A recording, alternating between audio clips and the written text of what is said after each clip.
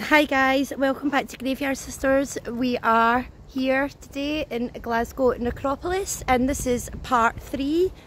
So we've came right down the hill now and I think this is, um, well, the stones are still very beautiful and some of them are quite elaborate. But here I think there's some lesser, you wouldn't say lesser, what would you call it? I wouldn't say lesser stones, smaller stones. smaller stones. Smaller. And we're kind of, look at that. What's that, look? In the back of the stone, look. That's? Yeah. A Maltese? No, it's not a Maltese. Not sure. Let's go and see what's on the front of it. I'm just going to watch my footing here because it looks very uneven, so just be careful there, Audrey. Or... oh, look. Yeah. Sacred to the memory of the Reverend James Thompson, um, Aberdeen, Aberdeen.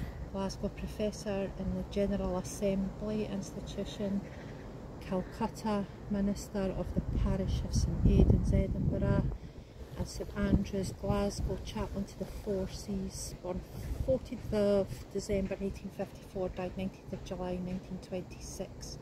It's very interesting. Very different and unusual, isn't it? Look at that. It's just so different. Yeah.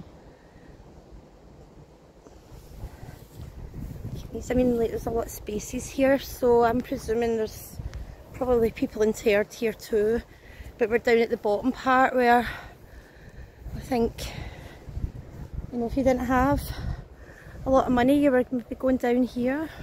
So I'm kind of looking for the Jewish section. We were trying to see if we could find the Jewish section to find the first ever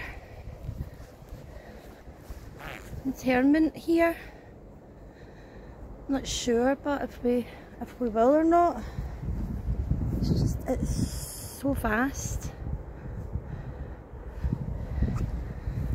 Yeah, there's a lot of definitely probably. Oh yeah, look the wow, that's amazing. And the police hat. This is in loving memory of John Ord. And he was a ex-superintendent, Glasgow Police, and he died the 19th of April 1928 in his 67 year. Jane McLaren, his wife, and she died the 30th of January, my birthday, 1920. Agnes McLaren Ord or Lockhart, their daughter, and she died in 1961. And then their son John Smith, and he's getting an MBE after his name. 1st of January 1967, and then James Lockhart, 2016. Gertrude, John's wife, and then Gertrude, their daughter. It's lovely, isn't it though? 16. So seven years. There's a lovely feeling of peace here. Um, there is, it's very peaceful. Does feel like you're in a big park. Let's go there. I'm just going to go off this bit because it's slightly quite uneven and I'm trying to get down. Got to go down that slope. There's a slope here, Audrey, so just go this way.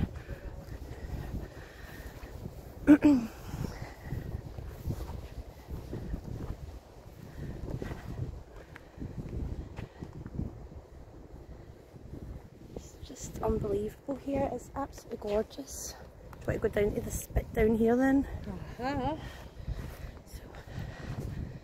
So it's 7.30. if this has caught my eye first. Oh, the trough. 30, ah, headless. 37 acres, hectares. Is that about right? Is that a hectare or an I acre? think it's a hectare. This has caught my eye, but unfortunately the head is gone. Would have been beautiful. And this is Edgar Campbell, student of medicine, uh, The son of the Reverend Robert of Calton United Presbyterian Church. Jan were her mother, Janet McLean, wife of the Reverend Robert Campbell, and also Reverend Robert Campbell himself, died 9th of March 1969. Look at this one Killed here. in France. In loving memory Waldemar of Waldemar.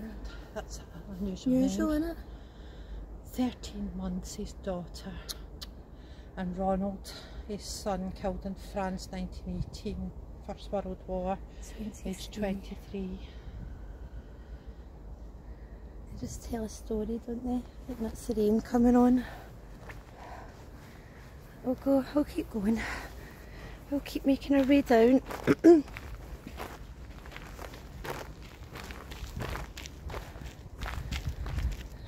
this has just been amazing. Absolutely amazing today. We're quite blessed in Scotland as well because we've got um, Greenock Cemetery which is apparently it could be one of the biggest cemeteries in Europe. It might even be bigger than Highgate in London. But we have already we've got Greyfriars to do as well. There's just so much.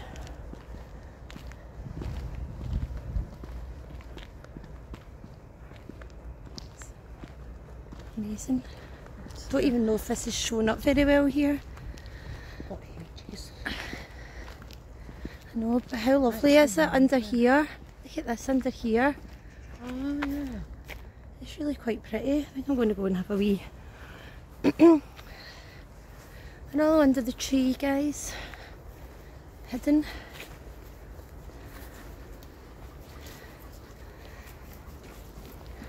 Thing is, when people come to graveyards like this, they do tend to go to the big, huge tombs. And all the little smaller graves usually do get, you know, forgotten about. So, and these were just obviously your average Glaswegians that were just living their lives. But it is absolutely beautiful. I mean, it's just amazing. They're not very legible, a lot of these here now. Just kind of makes it look more enchanted, doesn't it, under here? Yeah, it's very atmospheric under the trees. I'd love to come in here at night. Unfortunately, they do shut it. This one here. Erected by Elizabeth Keane in memory of her husband Alexander Mackay. Was a bricklayer who was killed at the Leith Sugar Refinery on the 27th of February 1865, aged only 24. Rest in peace, Alexander. Sugar refinery in Leith. so Audrey's from the other, well, lives on the other side of Scotland, so she's quite familiar with Leith and where I'm more familiar with the Glasgow area. This is this is just in beautiful. And it's well, it is just it's very, very late summer now, so few weeks and this will just be a carpet of orange leaves. It'll be absolutely gorgeous.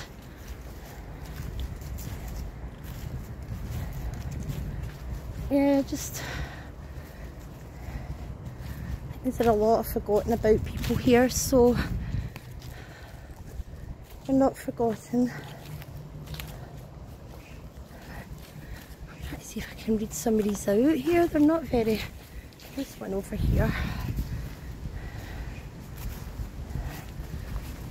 Erected by John George Wilcock, Willock, sorry, in memory of his children, John, who died the 4th of October 1860, aged 7 years and 9 months, and James, who died in 1850, 1 year, 4 months, and three of his children who are interred in Kilmarnock High Churchyard, Elizabeth Mary Ann and James, aged respectively 1 year, 3.5 years and 1 month, and the above George, Willock, and then Mary Douglas.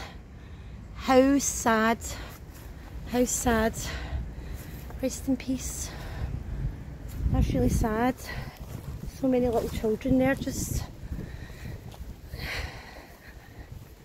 just Buchanan, nothing else.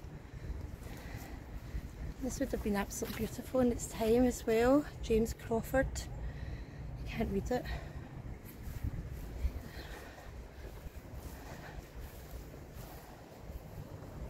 Beautiful here.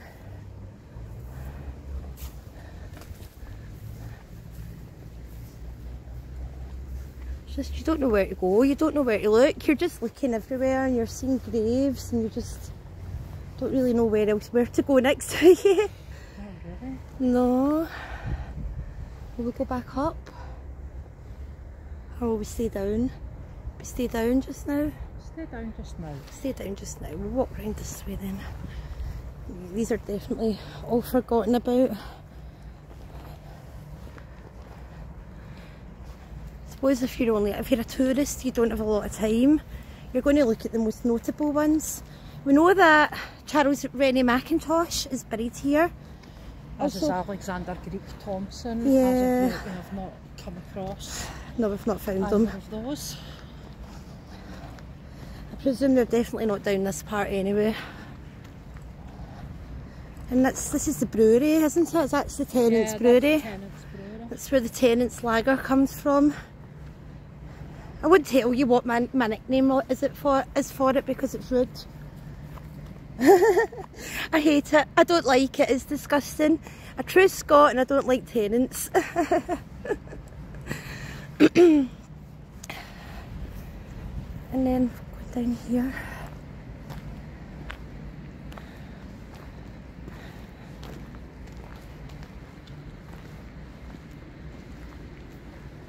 Beautiful. As much as it's forgotten, it still feels extremely peaceful to me. Do you pick the same up? It's peaceful, isn't it? Yeah, certainly is. Certainly is. This part here is quite forgotten about by the looks of it as well. We have this huge one here, look. So we're trying to cover as much as we can and show you all the different sections that we can today. We'll always come back. We will be back. Definitely be back here. It's huge, but not very legible. I'm just wondering if maybe these are some of the first graves that maybe have went in here. There. And that's the half pillar again, which means that's a life cut short.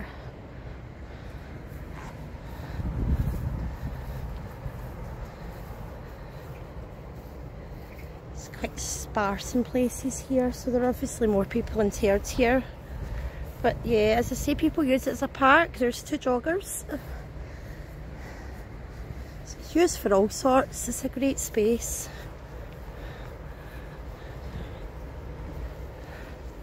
It's just nice to go and sit amongst the the graves sometimes I think and just sit and feel the peace. Look at this one that's sad in living memory of Agnes Weir, wife of James Baird, who died the 21st of January 1905, aged 68, and of their six children who died in infancy, and then the above James Baird. Sad. So, I'm going to leave this video here for now. I hope you've enjoyed this little little walk around the older section in the Glasgow necropolis. Thanks for watching. Take care, please hit the like and subscribe button.